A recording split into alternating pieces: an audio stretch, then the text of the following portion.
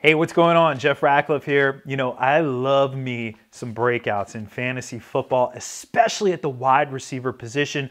When you can get a guy on draft day at a nice value and they return on that investment, well, there is nothing better than that. And I have five names for you who I think are really interesting breakout candidates for 2019. I'm going to be circling these guys on my draft board, and I'm going to get to them in just a minute. But first, you know, there's nothing that goes better with football than beer.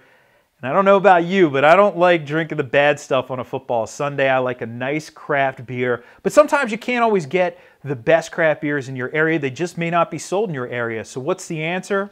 Tavour. Tavour, you can get craft beers shipped to your door, sometimes unique ones that you may never even have heard of before. We have an opportunity for you to try it out. Just use the promo code PFF Beer. That'll get you $10 in beer money after you spend $25. That's promo code PFF Beer. So let's get into these five breakouts. Now, these aren't the guys who are knocking on the door of fantasy stardom. We have another video there of four wide receivers who could potentially be fantasy stars in 2019.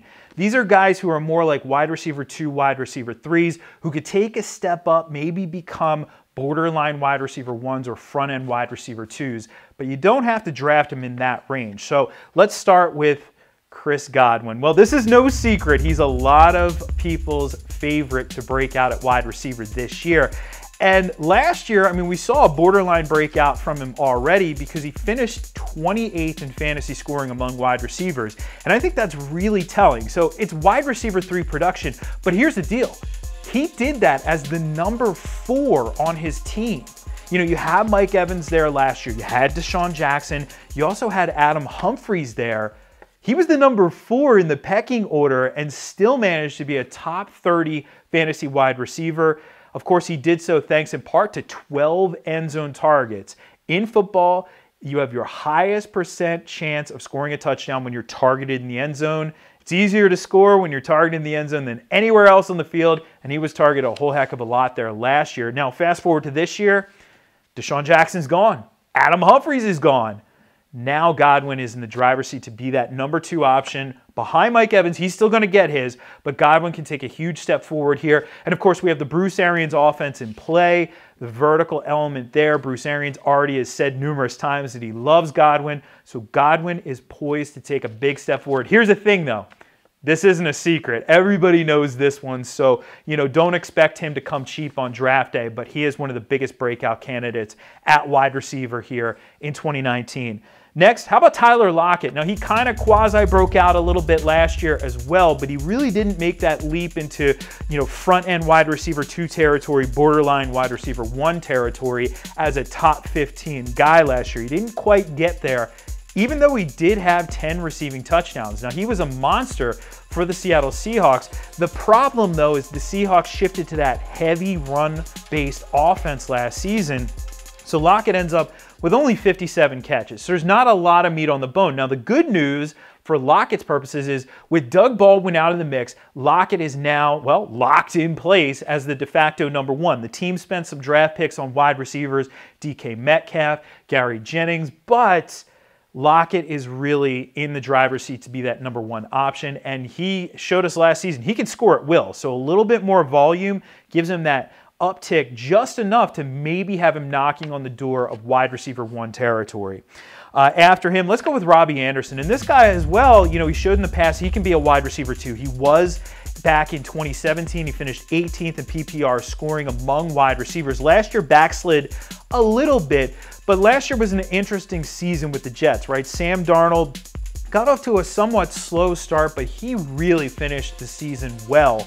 So with Darnold's arrow pointing up, plus the fact that you look at the Jets, what did they do at wide receiver in the offseason?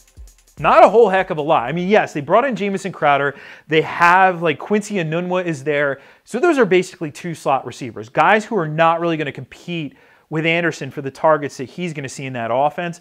Anderson can get downfield, we know that, but has become a more well rounded receiver in the NFL and he is a nice value. You're probably going to get him on the cheap on draft day, so keep your eye on Robbie Anderson. He can make that leap as well, be knocking on the door of top 15 production if everything shakes out right for him this season. How about DJ Moore? Another name that maybe isn't a isn't a secret at the position, but DJ Moore last year got off to a slow start as well. But from week five on, he was the number 24 fantasy receiver. So he finished, you know, he closed out the season well. And during that span of time, if you watched any of DJ Moore, like me, you were probably impressed by his explosive ability. I mean, dynamic playmaker, but he has the capability to be a true number one. He was not asked to do that last year, but this year, of course, he will be asked to do so because Devin Funchess, he's an Indy. So DJ Moore, no competition for that number one job. The big question isn't his role in the offense, it's that shoulder for Cam Newton. How's that shoulder feeling? You know, is he on track? I mean, as of right now, the reports suggest he's on track. So if he's good to go with Moore's upside and Newton's big arm, that could be explosive for fantasy purposes. He could take a big leap forward here in 2019.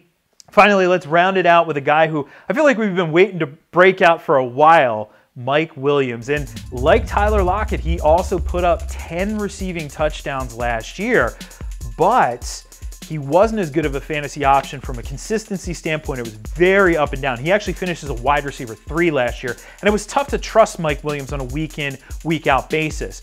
But Tyrell Williams, he's out of the mix now. So that opens the door for Mike Williams to be the clear number two in that offense with Keenan Allen as the, the number one. But the thing about it is, Keenan Allen last year saw eight end zone targets. Mike Williams saw 11. Mike Williams had half the amount of uh, total targets of Keenan Allen, but he was targeted that much more in the end zone. That bodes well. We could see a lot of Mike Evans in the end zone this year. Now, of course, Hunter Henry is there, and Hunter Henry is going to have a role in that offense, no doubt about it. But you look for Mike Williams in a very exciting uh, Chargers offense to really take another step forward here. Mike Williams, maybe the cheapest of these guys, depends on how it shakes out on your draft day, but he certainly has as much potential as any name on this list. If you want to see where all of these guys uh, come in our rankings, where they, they all fall in those rankings, go check those out. We have PPR, non PPR, uh, uh, half point PPR, dynasty, you name it, rookie rankings, all of that plus projections, and that's over at profootballfocus.com.